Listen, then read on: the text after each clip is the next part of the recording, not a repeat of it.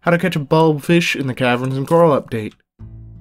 These little guys are extremely abundant in the deeper oceans. You do not need a sink bait to get to them. A master rod should definitely easily get you down there. And once you're down, it's just a matter of getting it on the line, and then the more difficult part, getting it up without uh, having it bitten. And that's some perfect timing because now it's night.